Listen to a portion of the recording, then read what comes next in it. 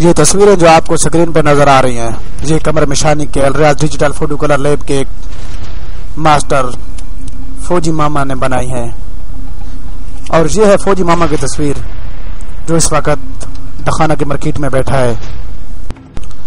तुम लोगों की पार्टी आज मैंने यहाँ पे इसलिए बुलाई है, क्योंकि कमर मशाने में बाज लोग इनका नाम खराब कर रहे हैं। ये इतनी अच्छी तस्वीर बनाते हैं कि इनकी तस्वीर, बनी हुई तस्वीर में दिन रात का फ़र्क नज़र आता है। आप कहीं भी चले जाएँ वहाँ से आप पासपोर्ट साइज़ फ़ोटो बनवाएँ या बड़ा फ़ोटो बनवाएँ। इनके पास जो लेबोरेटरी पड़ी है, वो सबसे कमर मशाने में दूसरी जितने भी कलर लेबे हैं, वो इतना अच्छा काम नहीं कर रही है जितना अलरियाज स्टूडियो पे हो रहा है।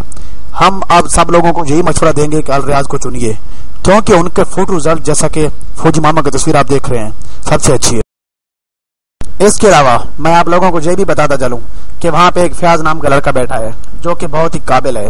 कमर मशाने में जितने भी मिनी कलर लेबे हैं, वो उनका टीचर है। उस्ताद है। ठीक फरमाया आपने। इसके साथ मैं आपको ये भी बताता चलूँ कि वहाँ पे कमर मिशाने में बनी तमाम छोटी कलर लेबों को तबाह करने के लिए हमने अपनी सेना को भेज दिया है और वो जाके उनकी तबाही मचा। कमर मिशानी जिला मियावाली में वाक़ है।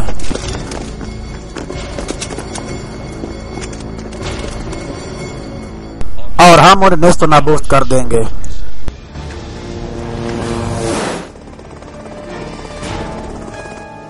ब्रिगेडियर मलक, जैसे कि मैंने आपको मिशन का इंचार्ज बनाया है, इस तरह कमर मिशानी में स्वाइफ अलरियाज डिजिटल करा लेब की कोई करा लेब नहीं बचनी चाहिए। सिर्फ़ वही बचनी चाहिए, क्योंकि वो आवाम की खिदमत कर रहे हैं। आप बेफिक्र हो जाए, सर।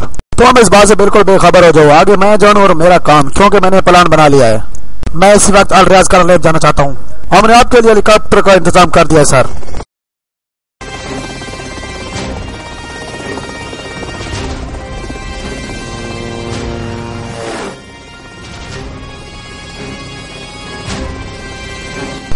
मंत्री साहब को हेलीकॉप्टर के ज़रिए कमर मिशानी के ग्राउंड में उतारा जा रहा है।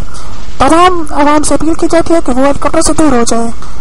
मंत्री साहब नीचे गुजर कर अग्रयाज फ़ोटो करेंगे और उनके साथ उनके सेक्रेटरी मौजूद हैं। शुक्रिया।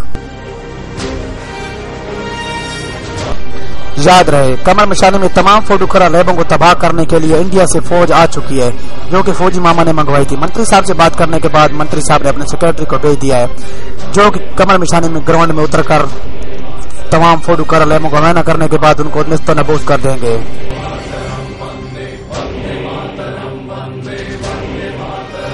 सुना गया है कि उनका पहला निशाना अल मुबारक फ़ोटो कर लेब है, जो कि उनके शिगिर थे और उनके मुकाबले में उन्होंने दुकान बना दिया है। अल मुबारक फ़ोटो कलर कहाँ है? सर वो सब्ज़ी मंडी के साथ हाशिम मार्केट में है। मैं उसकी चेकिंग के लिए जा रहा हूँ।